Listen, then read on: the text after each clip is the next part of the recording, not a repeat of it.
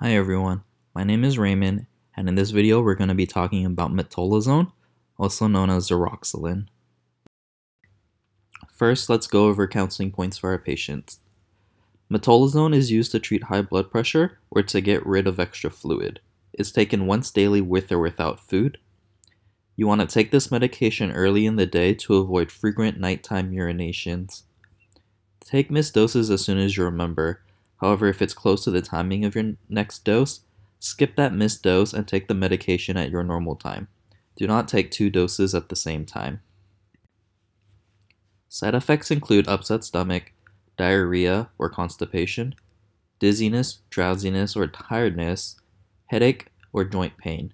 Report to your doctor right away if you experience more severe side effects, which include signs of allergic reaction, muscle pain or weakness, irregular heartbeats, the inability to pass urine, or any large weight gains or swelling.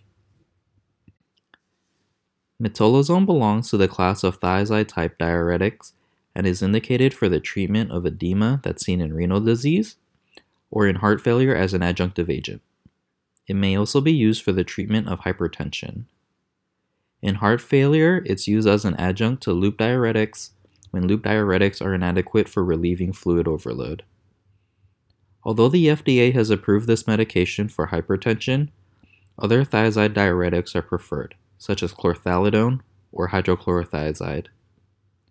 What's unique to metolazone is that unlike other thiazide diuretics, it may work in patients with a reduced renal function of a creatinine clearance below 30 milliliters per minute.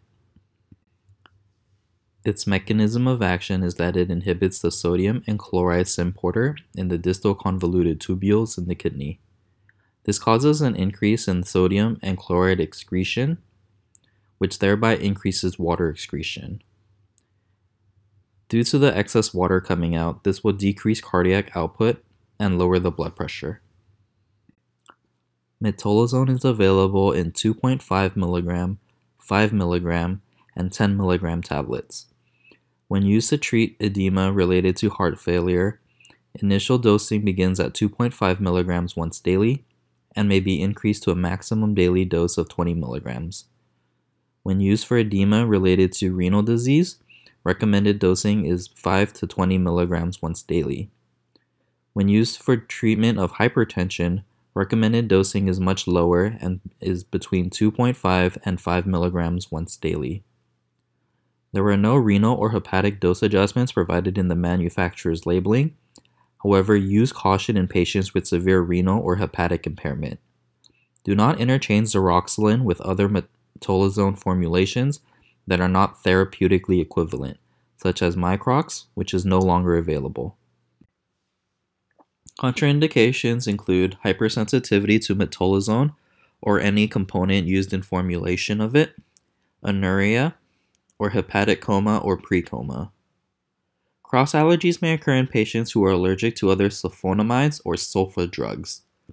Severe hypokalemia and or hyponatremia can occur rapidly following initial doses. And be careful for patients as they may experience orthostatic hypotension when on the medication. Adverse drug effects include hypotension, volume depletion, electrolyte disturbances, including hypokalemia, hyponatremia, and hypomagnesemia, and hypercalcemia, hyperuricemia, hyperglycemia, and photosensitivity as well. For patients on metolazone, it is important to monitor fluid status and weight to ensure appropriate fluid loss and verify that extra fluid is not being retained. We want to monitor blood pressure due to loss of excess fluids. We want to keep track of electrolytes as it may cause electrolyte disturbances. We want to monitor renal function for safety. And lastly, we want to look at blood glucose, especially those diabetic patients, as blood sugars may rise.